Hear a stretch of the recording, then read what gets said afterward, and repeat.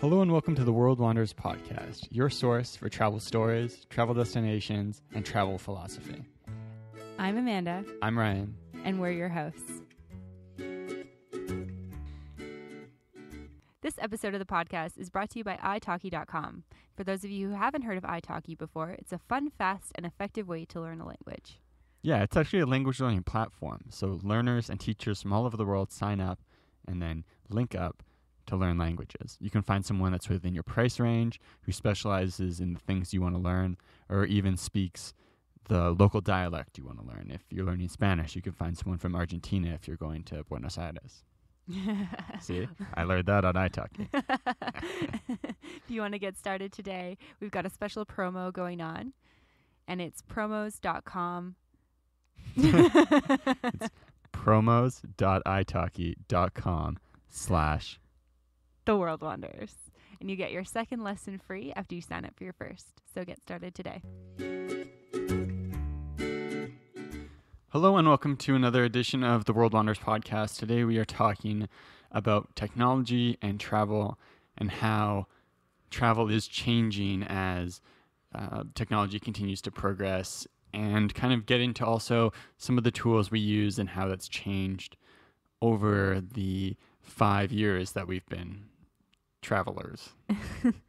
yeah, and so just a quick note before we really dig in um, these are all our own opinions and personal experiences. Obviously, every traveler has a different experience within the way that they've traveled and this is just the progression of how technology has really changed for us personally Yeah, and so like if you're a really early adapter, you might have been like, "Wait, what? You were doing that in 2014? yeah You guys are yeah. hermits." Yeah, and I mean, we didn't have iPhones back when we first started traveling. iPhones definitely existed in 2011. So if you were somebody who had an iPhone, you might be like, what? You didn't have an iPhone? I guess we are just behind the times, still in Blackberry mode. But so just so everyone knows, this is not like, you know, the be all end all. There's no right or wrong. This is just a sharing of our experiences and how technology has really improved travel for us, I would say. Yeah, it's something that we've been thinking about a lot since we've been over here in Asia. Um, a bit a big reason for us thinking about this is because we've been riding with Uber so much. And last time we traveled together was in 2014. Uh, we spent six months in South America, and we didn't have phones. We weren't buying SIM cards. Well, we had phones. We weren't using them, so we weren't buying SIM cards. We hadn't really experienced Uber because we'd been living in Calgary, which is such a backwards place that they still don't have Uber in 2016. Yeah, which Um, is absolutely crazy since parts of the US are getting automatic or self driving cars now, which is just absurd that we don't even have it. I mean, most of Canada doesn't even have Uber. Yeah. But so as we've driven around in nice cars in Manila and now Kuala Lumpur, and we're staying in an Airbnb here, we're kind of thinking like, wow, this is like a, a much different world because of these two apps and like the technology behind them. Um, and it's kind of, yeah, it's kind of brought up like, it's funny because we're not that old, but it's kind of like one of those old man kind of things where you're like, wow, back in my day, like when we first started traveling, it was a lot different. Yeah, yeah. And our two of our really good friends, Steve and Julia, they went traveling for a bit in Europe uh, in the spring, this past spring in 2016. And I remember before they left Atlanta, we went for a hike up Stone Mountain, which is like the iconic hike to do in Atlanta. It was one of their last days there. And they were asking me, you know, all these things about cell phones and Google Maps and how we did things traveling. And I was like, oh, well, like the first time we traveled, we just used like guidebooks and they were like use guidebook map like guidebook maps and i was like yeah we use guidebook maps they're like but how did you not get lost i'm like we're the same generation like do you not know how to read a map like we're a really cool generation because we were kind of you know we were like alive during the time of encyclopedias and paper maps but then we also grew up in this time where we got to see Google Maps become a thing and really see like the internet take over for all these like archaic ways of doing things. But in 2011, we didn't have cell phones with us. We had Blackberries, like I mentioned before. We left them at home. Um, Ryan had an iPod and I had an iPad. And so oftentimes we would look up like the directions to somewhere on Ryan's like iPod and then we would take a screenshot of it and we would go by that if we didn't have a guidebook. And that's like kind of how we would get around. We would figure out what time a train was. We would go to the bus station via taxi or via bus or via public transit and we would just like hope that our information was right. and I mean, it worked out. Yeah. I, I remember having more issues though, like always having to rely on. Um, so we were still using Hostelworld then, and we are now as a big way to book hostels. But when you book a hostel on there, the hostel has inputted directions, and so you get in your confirmation email the directions, which I remember distinctly being uh, in Barcelona one time, and whoever wrote the ho- directions to the hostel from the train station had broken English, and it was just a confusing mess of like left at red building right over here and then like by the thing do this and we were just like so lost. And it's funny because we would put so much thought into like oh well we're at the hostel before we go to the next city like we need to load a map we need to make sure we have that figured out And like loading that email as well was a thing because like um, we would use my iPad for that sort of stuff. And I mean, it's always awkward to pull your iPad. I don't have an iPad mini either because this is before the iPad mini was a thing. I have like a clunky like iPad 2. So I'd like pull out this clunky thing and like have to load the email. And if I hadn't loaded it before I updated my email, it actually wouldn't even show up if I didn't have any internet. So we just had to like put a lot more thought into getting to and from places without Wi-Fi. I remember I used to make sure my email was also updated because I spent a lot of like train rides responding to friends' emails, friends and family. And so I would type the whole email, press send. It obviously wouldn't go through, and then it would all just send whenever I got into Wi Fi next. It's just kind of like I remember telling Steve and Julia this, and they were actually laughing at me, like as if I was like, you know, Yeah. the way I would like kind of laugh at my grandma when she told me how she does stuff, like did stuff back in the day. And it's so interesting to think about how much technology has changed even over the last five years. Yeah, it's just like a realm of problems that you never have and almost seem ridiculous that you could have had. That, like, now that we're traveling and we've got unlocked phones, we're just using SIM cards, so we're kind of connected all the time and we're like, oh, yeah, how do we get over there? Cool, let's take an Uber. Um, yeah. versus like this getting lost and having to ask questions thing and uh and it, brings up like a, a funny point because there's a lot of comfort value in being connected but you also kind of like lose some of the stuff that was really enjoyable about traveling um maybe not enjoyable in the moment but like overall enjoyable Right. Like the idea of being on a train for like eight hours where nobody can reach you is like kind of nice. Or spending an entire day exploring without this, like, oh, I'm going to like post on my Instagram story or take a Snapchat here. Oh, I just got an email in. Like, let me just sit and deal with this quickly while you're at like the Palace of Versailles. Like, that type of thing doesn't happen when you're disconnected from data. Yeah, like they're one of the the good value adds from travel is like being bored and like there's a value in being disconnected and kind of breaking up some habits that you have when you have Facebook on your phone or whatever. Like you learn to read, you learn to think, you learn to be more at peace with yourself because you don't have those distractions. And now that it's easier and easier to be connected even while you're traveling, you kind of lose that and you have to make a conscious effort to be to, to break those habits in a way you didn't before whereas just going traveling would help you break the habits Right. Yeah.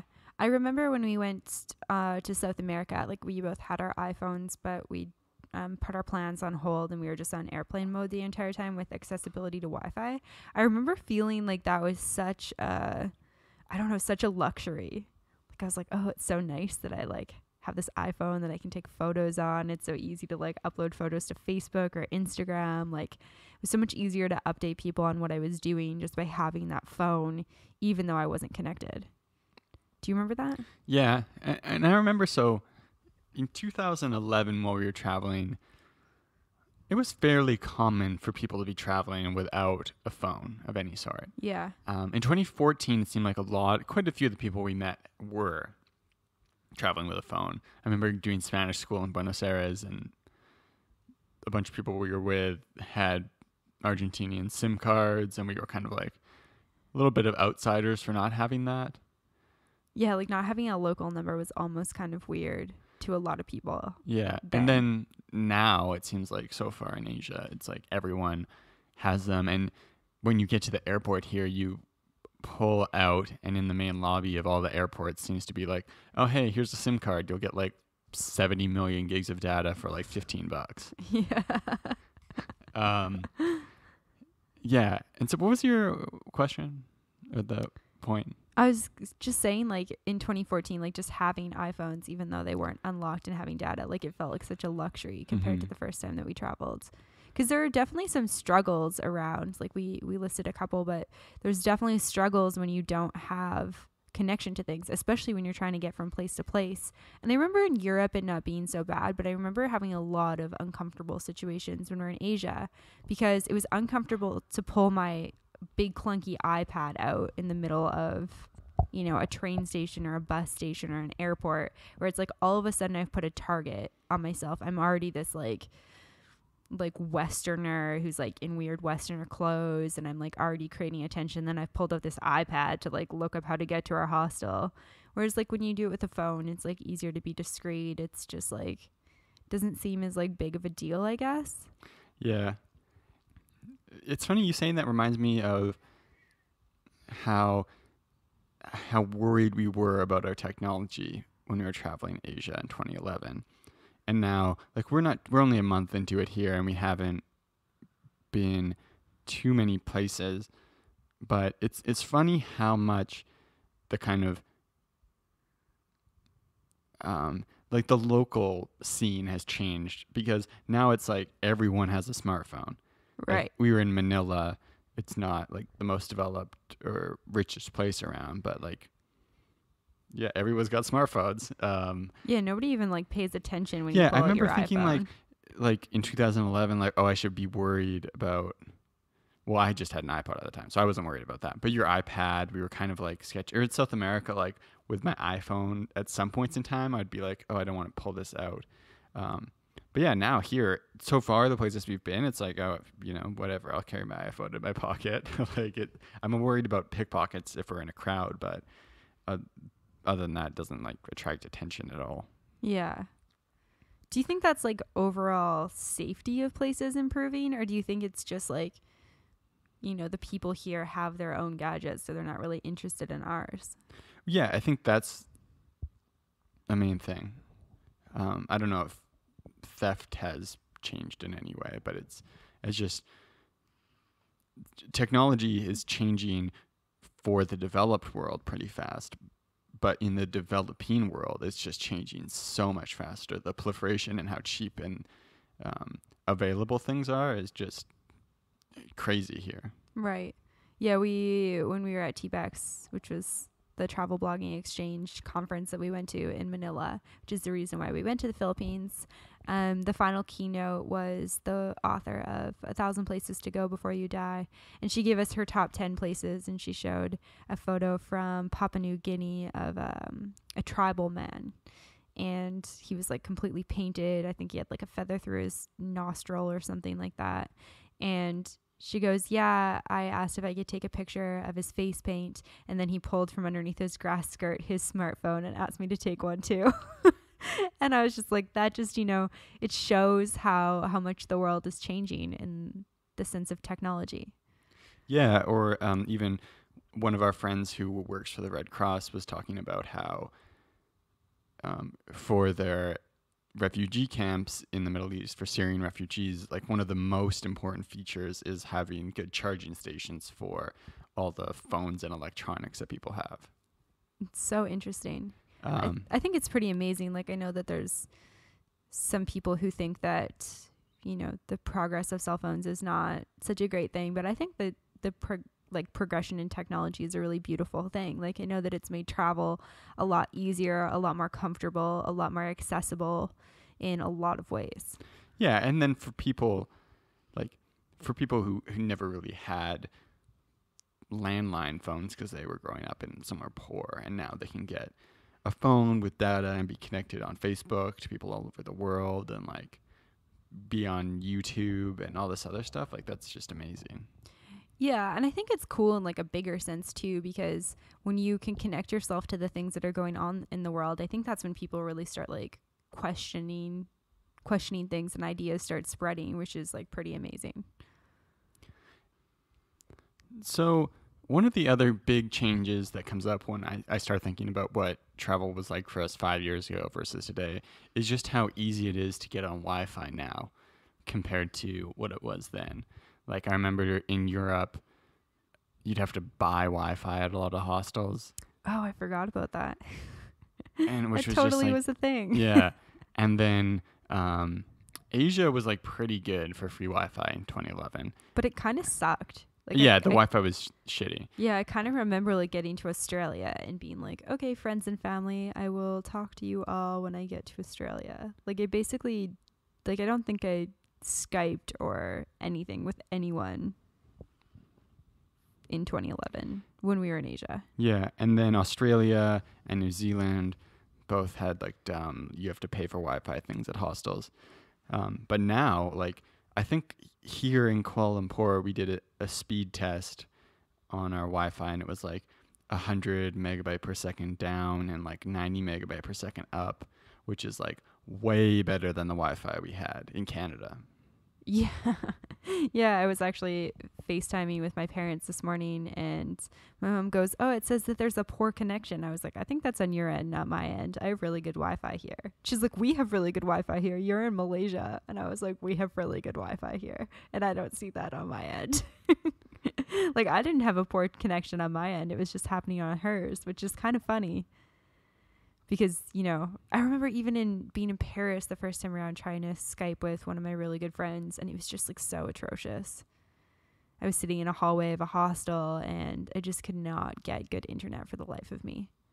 Yeah, yeah, and it makes it a lot um, nicer. I know we um, last week we had an episode with Brock from Backpack with Brock, and he was talking about doing his uh, starting his travel blog in 2010, which now or travel vlog, sorry. Now video blogging is like com- not maybe not common, but like very popular. It's like a trendy thing to do, and it's very possible to travel around and upload YouTube videos. But in 2010, like I know we were struggling with just even getting connected to Wi-Fi, but like regularly creating videos and uploading them would have been a nightmare.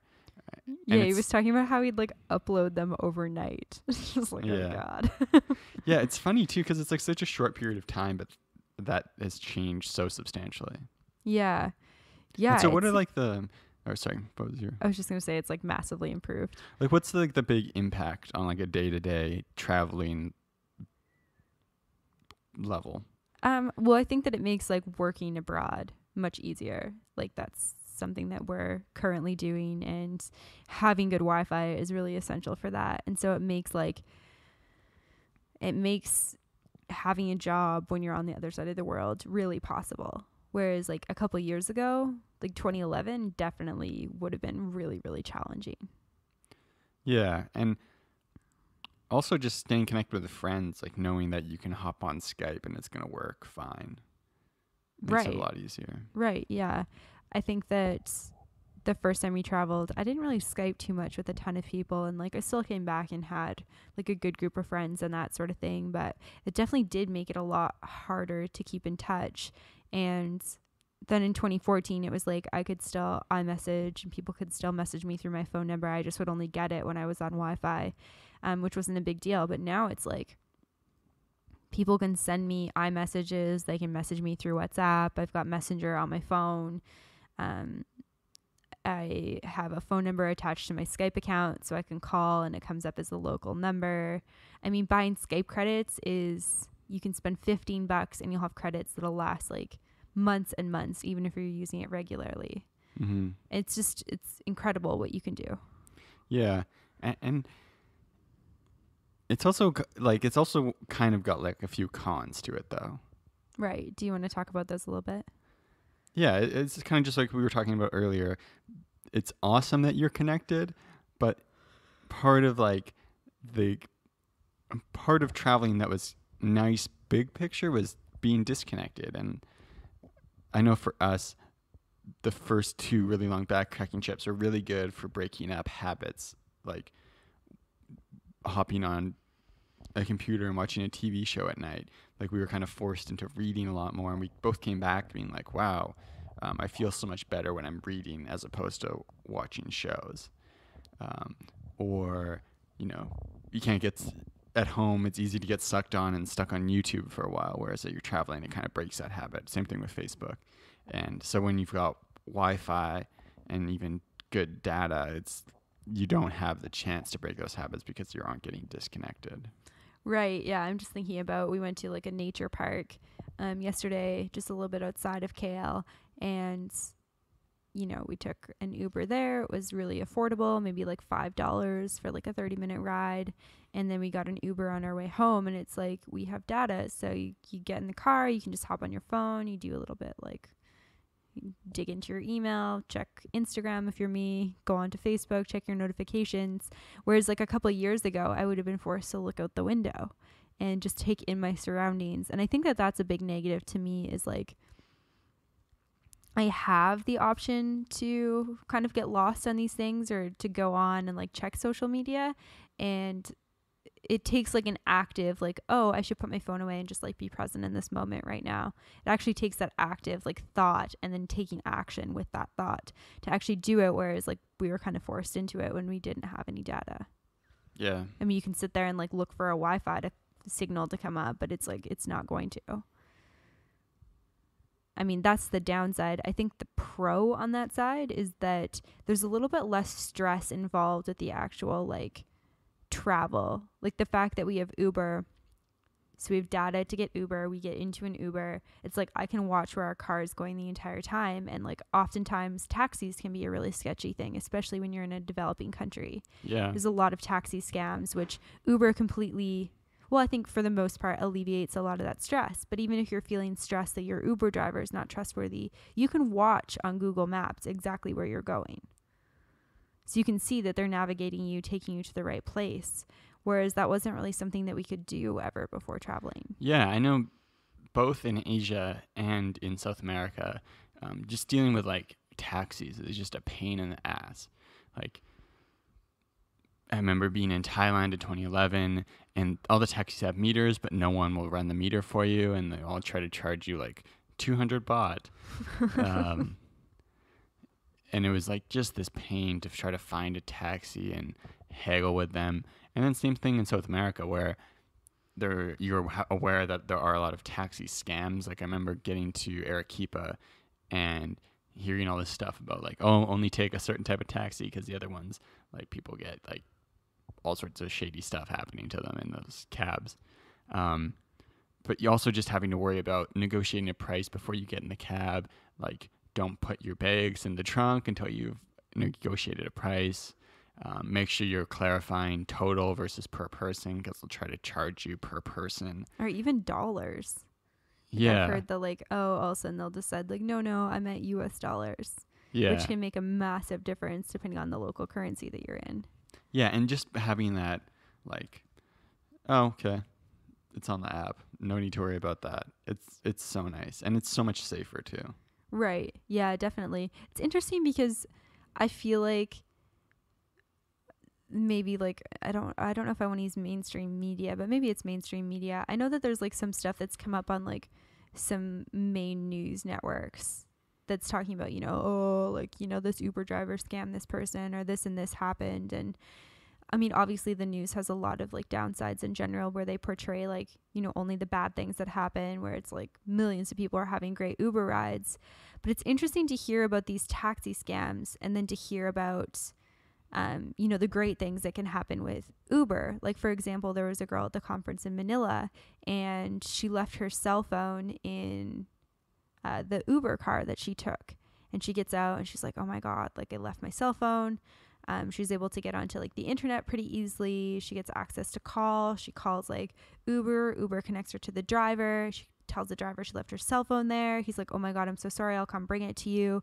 And within like a couple minutes, she's got her cell phone back, which is like, that's amazing. That's amazing that somebody can leave their cell phone in an Uber in Manila and that driver can get that cell phone back to her. Whereas like you know, in a lot of places that we've been before, it's like we're so worried that this person's going to like drive off with our bags before we even get in the car or going to demand like too much money for us. If I had like left my iPhone in a taxi in anywhere in South America, I would have been like, it's gone. Like, there's no way I'm going to get it back, even if I can get a hold of this person. Like, they're going to keep it. Yeah, trying to call a like Colombian taxi company or something. It'd just be it's like a nightmare scenario. Yeah. and I think like in getting out to developing countries and seeing seeing these technologies working, like that's where you see like how much more of an impact they have. Uh, like taxis do suck most places in North America, um, but they're not like as unsafe as they are when you go down to South America or Asia. Um, you don't have to worry about as many scams and about you know getting kidnapped and stuff like that. Right. It's like pretty unlikely that a, a taxi in like Calgary is going to take you to a bank machine and get you to like empty your savings for them with like a gun against your head or something. Like it's probably just not going to happen, you know, because it's a pretty safe place. that shit like happens. Thankfully, we've never experienced it. Um, but another like sort of note on that is I think that part of the reason why Uber is such a great service is that it's providing a service for the person who's getting driven, but it's also providing this really great opportunity for the driver to make money. Like, I think it gives the opportunity for a lot of people to make a little bit more money, and that really helps the economy. It helps like overall happiness, and I think that's part of re- the reason why drivers are so great and why they're willing to, you know, drive your cell phone back to you if you forget it in the car. Yeah, and Uber drivers, a lot of them are just like normal people doing it for a bit of extra work on the side. Um, so a lot of them are leading interesting lives, and you have really good conversations with them in a way that when you, I don't know, it feels like when you hop in a taxi, a lot of the times the taxi driver kind of is very much prefers to just not talk to you. I know there's exceptions to that, but for the most part. Um, but in an Uber driver, Uber cars, like even over here in Asia so far, we've had like lots of good conversations with drivers um, about things to do and places to see, that kind of thing. Yeah, definitely. I think though it's just important to note quickly like we're not sponsored by Uber or anything. We just like genuinely really love the service. So I just want to note that. Yeah, and there's all sorts of other ones. Like I know uh, in Asia, there's one called Grab, which is also popular. So Yeah, it's more much so that ride sharing technology, not necessarily Uber. Yeah, I mean Uber is the one we use the most. We use Grab a little bit in Manila though, and it was just as great. I have just as many good things to say about Grab as I do about Uber. Lyft was amazing in the US. Yeah, so we've talked about um, navigation being a big change, transportation. Um, it has been interesting, like as far as long haul transportation. Ha- has there been much of a change in that tech wise? Like I know even five years ago we were still using Skyscanner. It seems like flights are a bit cheaper now, most places, but um, it's a bit easier to book stuff online, but it seems like that hasn't actually changed that much. Yeah, I don't think there's been too too much change in in that regard.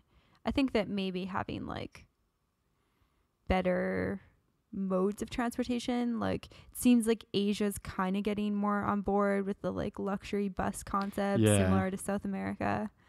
Yeah, I remember being here the first time and taking buses, and it was just like crazy. I mean, our Vietnam episode is a good one to listen to if you want to hear about the experiences of atrocious overnight Asian buses.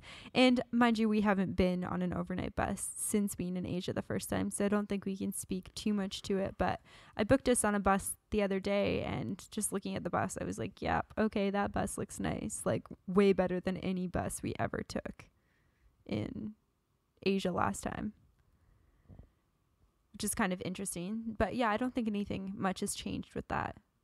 Um, and then, so accommodation is also, I think, the big change we've experienced like day to day as travelers is just using Airbnb a lot more.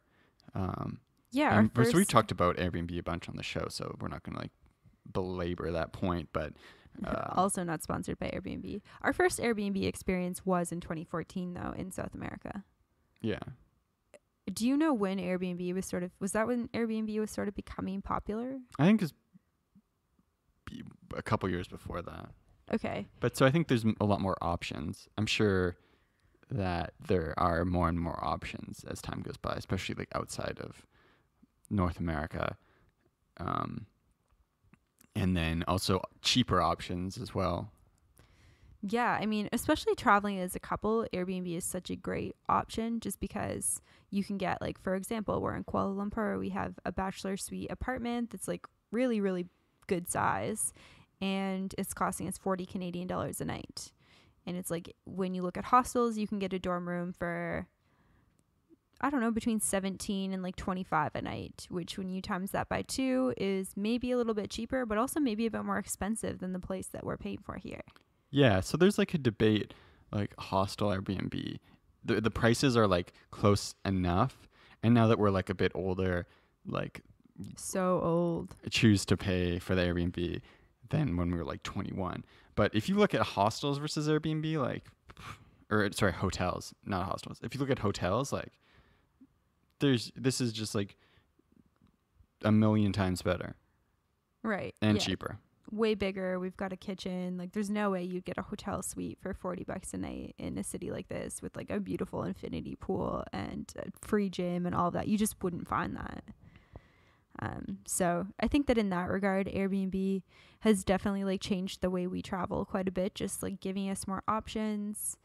Um, I think that it's just nice too, especially on a long term trip, to be able to find somewhere where you can stay for a little bit and have your own space. Mhm. I think that's so key, especially like trying to be digital nomads.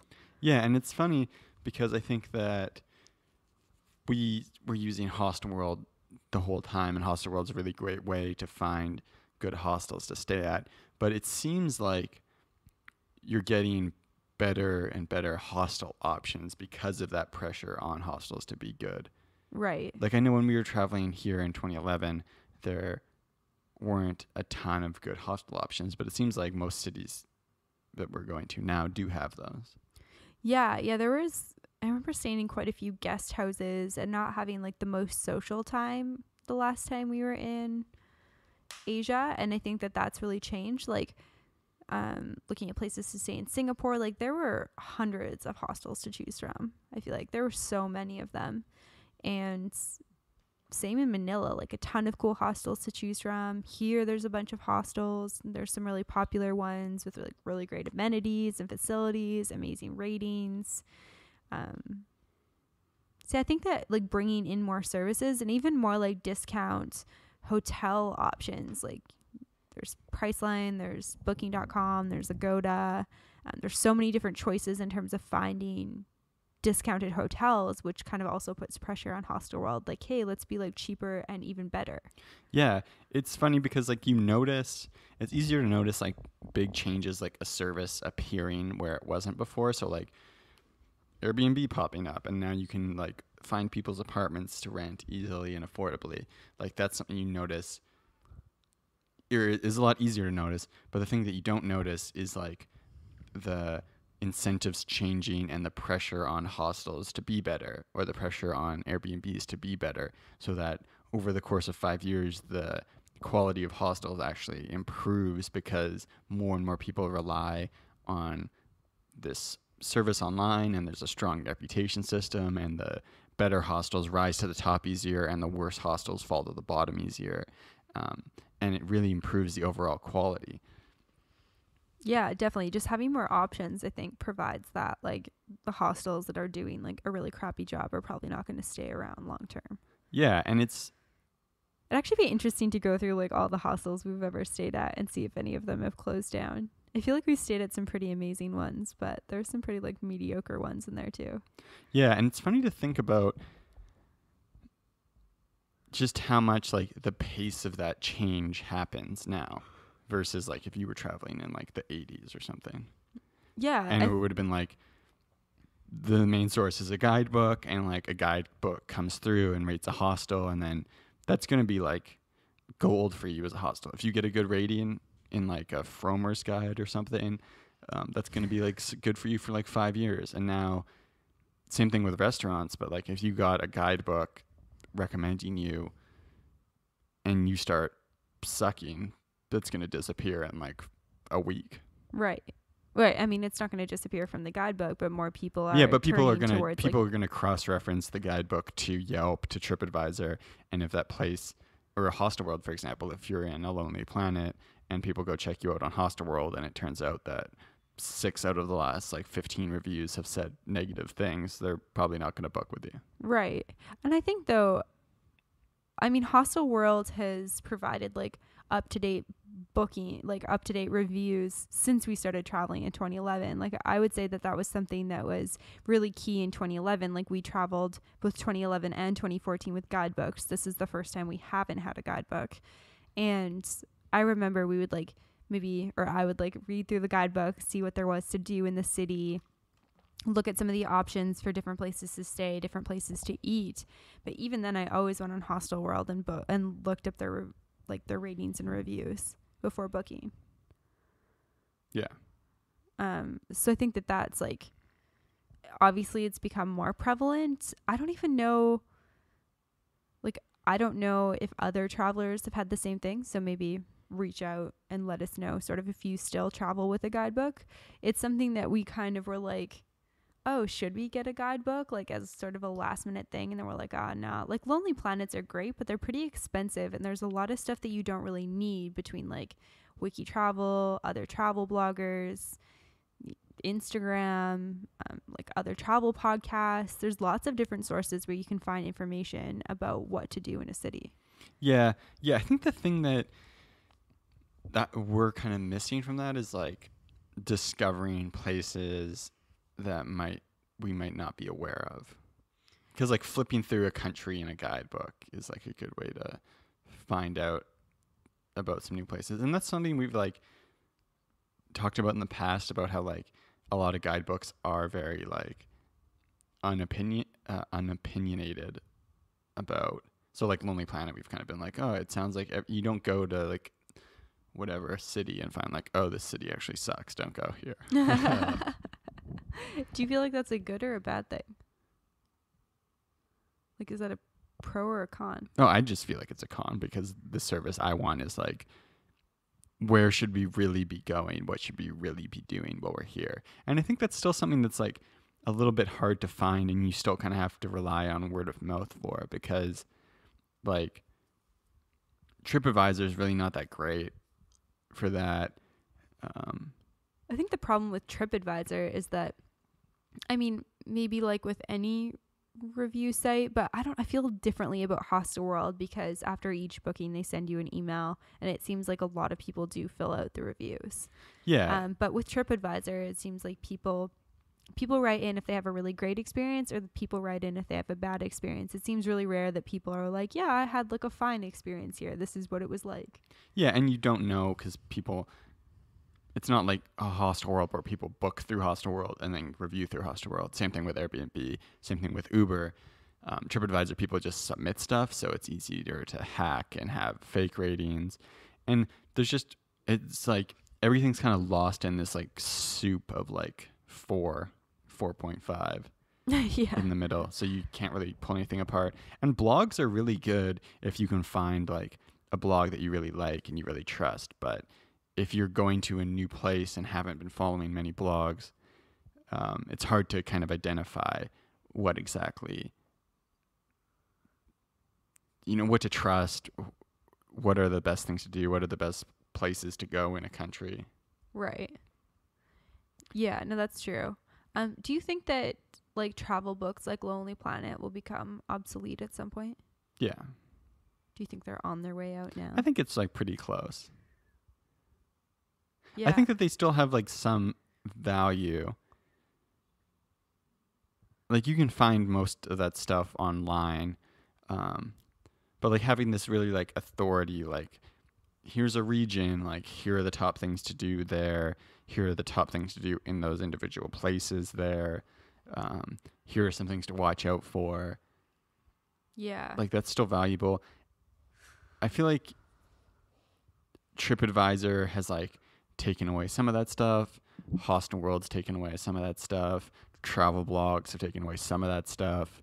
Um, it just kind of yeah, different services have picked away at the value of the guidebook. Right. Yeah, it's kind of interesting. I saw somebody with a guidebook when we were walking around in KL the other day, and I actually felt like, a, oh, I kind of miss like having that.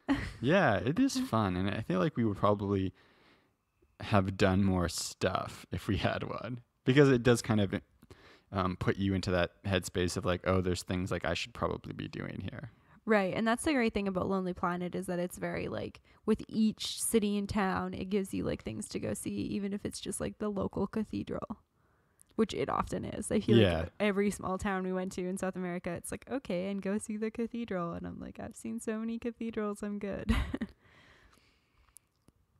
Yeah, and I don't know if, if this exists, but like it'd be cool to have a really good.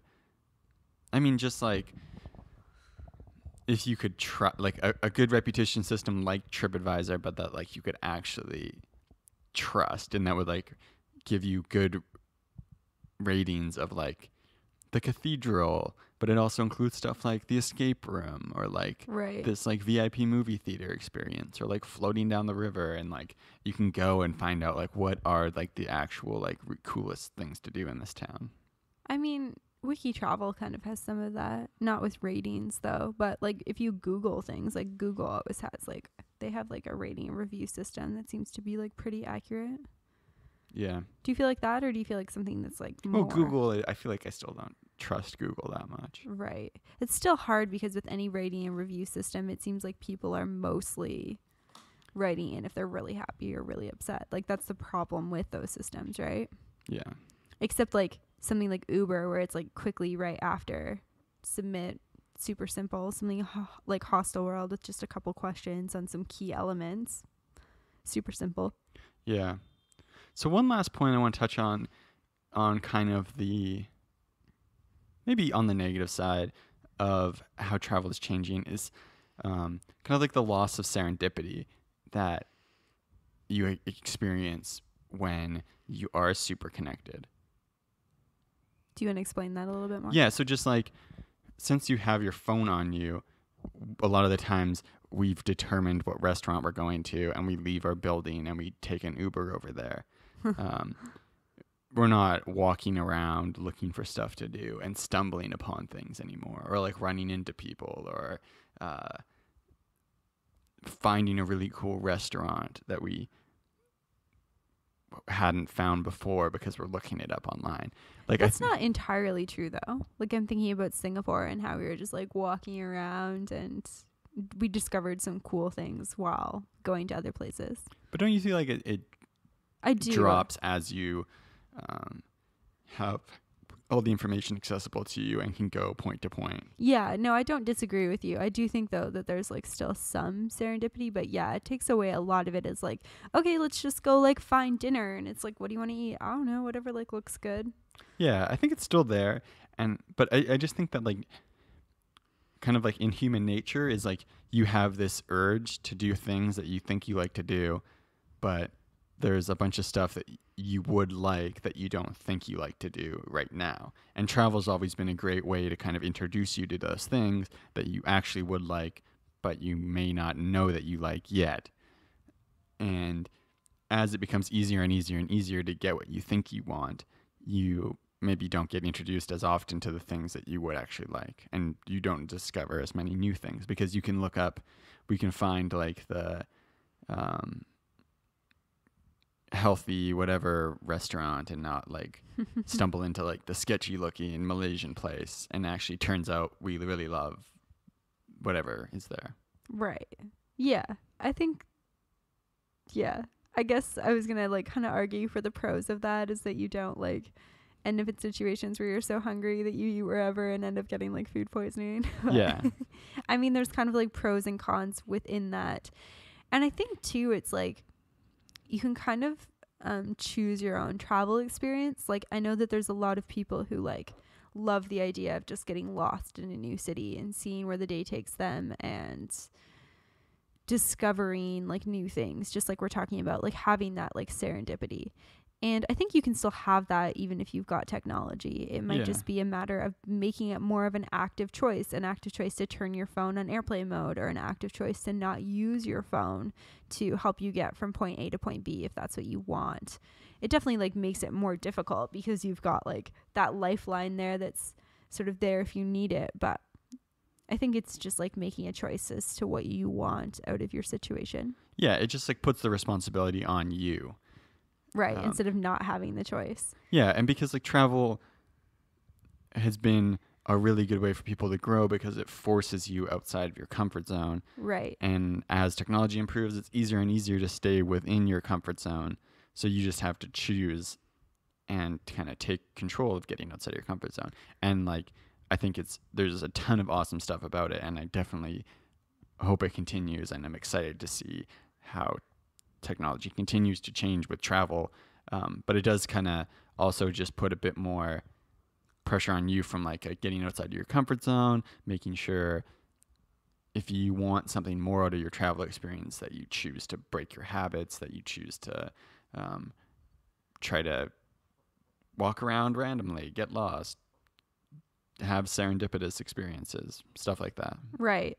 And it's nice to know that you've got your cell phone to like get you back to point A or get you out of a dangerous situation quickly if you do get into it. It is nice to like know that you've got that sort of like I- I don't know, safety blanket if you will, kind of Yeah, there absolutely. available for you. Um so I think that it's like there are pros and cons. Um we haven't really met anyone so far who's like been traveling pretty pretty like bare bones, I guess, like rugged, sort of old school. Like it seems like everyone's got technology with them. Like more and more I'm seeing like people with their laptops. I mean, people have GoPros. Like there's GoPros everywhere. I was kind of nervous about bringing a GoPro over to Asia and like there's tons of like local people with GoPros out and about. Like I think that it's obviously important to be safe with your GoPro or with any technology that you have because when you let your guard down that's when you know somebody will steal it from you but at the same time it seems like there's so many people like flying drones and they have technology that's way more advanced than even mine is which is kind of interesting Yeah. Yeah, it's it's funny to see how things change. And it's funny too being like so young but still feeling like things have changed so much in 5 years. Yeah i mean it'll be interesting to look in 5 years and see how technology has continued to advance the way that we travel Yeah, so um, if you want to check out any of the like tools we use, we'll have a list of like the kind of like technology that we use while we're traveling on the show notes on theworldwanderers.com. Um, as always, thanks so much for listening. Do you have anything else to add? I was going to say that if you've never used Uber or Airbnb before, we've got um, promo codes for getting your first like ride free or getting your first stay for like 25 bucks or something free. So you can sign up for those. We've got links that'll be on the show notes and they're also under our resources page. That way you can test them out and see if you love them as much as we do. To find more information, relevant links, and photos talked about in this week's episode, check out theworldwanderers.com. If you have a question, comment, or feedback, send us an email at info at theworldwanderers.com. Join our community on Facebook at The World Wanderers or on Twitter at World Wanderers1. As always, thanks so much for listening. Have a great day. Bye.